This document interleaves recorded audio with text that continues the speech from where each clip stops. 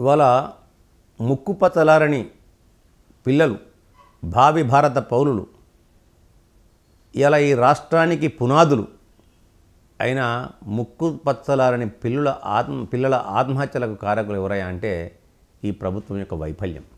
సిగ్గు లేకుండా నిస్సిగ్గుగా ఇంకా ఆ ప్రభుత్వంలో ఆ శాఖకు ఎవరైతే బాధ్యత వహిస్తుండ్రో ఆ మంత్రి గారు ఇంతకు మంది ఇంతవరకు కూడా రాజీనామా చేసి ఇవాళ ఒక ఎంక్వైరీ కమిటీని వేయకపోవడం అనేది కూడా సిగ్గుతో తలవంచుకోవాల్సిన అవసరం. ఈ ప్రభుత్వానికి ఆ తప్పిదాలను బయటపెట్టి ఇవాళ ఈ పిల్లల ఆత్మహత్యలను ఇవాళ ఇవాళ సభాముఖంగా ప్రజాముఖంగా వారికి క్షమాపణలు చెప్పి వాళ్ళ యొక్క కుటుంబాలకు ఆసరగా ఉండాలని చెప్పడానికి చెప్పకపోవడం కూడా నిజంగా నిజంగా కూడా బాధాకరమైన విషయం ఇలా ఇలా ఈ ప్రభుత్వానికి చిత్తశుద్ధి ఉన్నట్టయితే సిట్టింగ్ జడ్జి చేత ఆ గ్లోబారినా సంస్థ మాకు అవసరం లేదు మహాప్రభు. ఈ ఎవాల్యుయేషన్ మేము చేయము మాకు సంబంధం లేదు ఇవన్నీ మేము చేయము ఇంత పెద్ద ఇంత పెద్ద ఒక మార్కుల జాబితాలను మేము తయారు చేయలేమని చెప్పినప్పటికి కూడా ఆ గ్లోబారినా సంస్థకు అప్పజెప్పడంలో ఎవరి అస్తముందో తేట తెల్లని చేయాల్సిన బాధ్యత కూడా ఈ ప్రభుత్వం పైన ఉంది. ఈరోజు ఇంతమంది ఇంతవరకు ఇంచుమించు ఇరవై రెండు ఇరవై మూడు మంది పిల్లలు ఆత్మహత్యలు చేసుకుంటే ఆ ఆత్మహత్యలన్నీ కూడా ప్రభుత్వ హత్యలుగానే భావించాల్సి ఉంటుంది. ఇవాళ రోము నగరం తగలబడుతుంటే నీరో చక్రవర్తి గత పిడేలు వాయించినట్టు కేసీఆర్ గారికి ఎంతసేపు తన యొక్క అధికార దాహం పదవీ వ్యామోహం తప్ప ఇంకొకటి లేదు. ఇంతమంది పిల్లలు ఇక్కడ చలిపోయి వాళ్ళ భవిష్యత్తు కొరకు వాళ్ళ తల్లిదండ్రులు కంట తడిపెట్టి ఇవాళ ఇంటర్మీడియట్ బోర్డు ముందుకు వస్తే వాళ్ళని ఏ కోశాన్ని కూడా పట్టించుకోకుండా నిర్కష రాక్షస రాక్షస హృదయాలతోని ఇవాళ పోలీసులతో తొక్కిస్తున్న వైనాన్ని ఇలా మనం అందరం కూడా చూడొచ్చు ఇవాళ. తెలంగాణ రాష్ట్రం ఏర్పడితే మా బతుకులు బాగుపడతాయి మా భవిష్యత్తు బాగుంటుందంటే వాళ్ళ భవిష్యత్తుని ఇలా ఇలా ఆదిలోనే చిదిమేస్తున్న వైనాన్ని మనం అందరం కూడా చూడొచ్చు ఇవాళ. నిరుద్యోగ యువకులు ఆ రోజు అనుకున్నారు మాకు ఉద్యోగాలు వస్తాయని చెప్పి.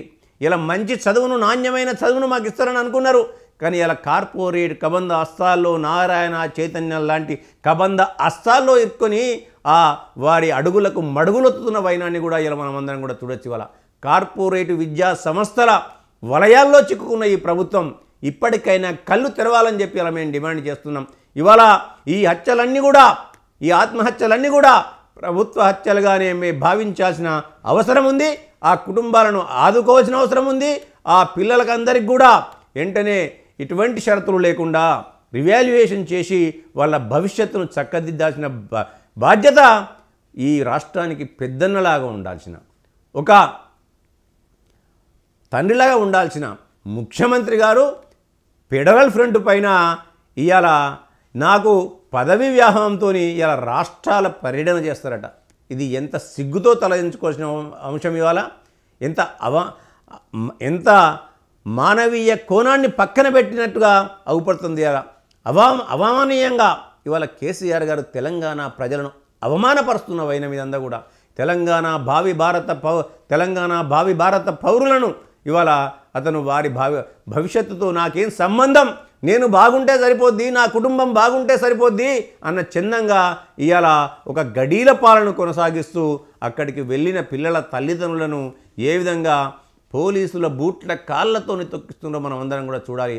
ఇప్పటికైనా కేసీఆర్ గారు కలిదర్సి ఆ నీరో చక్రవర్తి లాగా ప్రవర్తించకుండా ఇవాళ రోమునగరం తగలబడుతుంటే ఇలా పిడేలు వాయించిన చందంగా ఉండకుండా దానిపైన బాధ్యులను వెంటనే శిక్షించాలని వారికి చిత్తశుద్ధి ఉన్నట్టయితే ఇలా సిట్టింగ్ జడ్జితో ఇవాళ వెంటనే ఎంక్వైరీ కమిటీ వేయాలని అదే మాదిరిగా దానికి సంబంధించిన అధికారులను అలాగే దానికి సంబంధించిన మంత్రిని ఇవాళ వెంటనే రాజీనామా చేయకుంటే బర్త్రఫ్ చేయాలని ఇలా నిజంగా కూడా చెప్పాలంటే ప్రజాస్వామ్యంలో అనేకమైన సంఘటనలు ఉన్నాయి.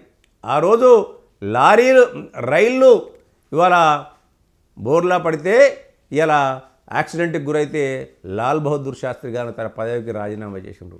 ఇవాళ అటువంటి సంఘటనలను దృష్టిలో పెట్టుకోవాలి కానీ ఇవాళ ఒకవేళ ముఖ్యమంత్రి గారు స్పందించకపోతే గవర్నర్ గారు ఇంటర్ఫీర్ అయ్యి దీనిపైన తగిన చర్యలు తీసుకోవాలని చెప్పి కూడా మేము డిమాండ్ చేస్తున్నాం ఇవాళ.